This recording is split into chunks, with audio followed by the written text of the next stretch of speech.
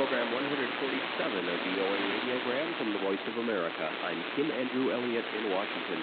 On the VOA Radiogram, we transmit digital text and images on an analog or broadcast transmitter. For more information about our topic, visit voaradiogram.net. That's voaradiogram.net. Today's program will include a news item in Olivia 64 2000 about the Pope Fiat 500L but most of the show will be on MFSK 32, including this preview, MFSK 32.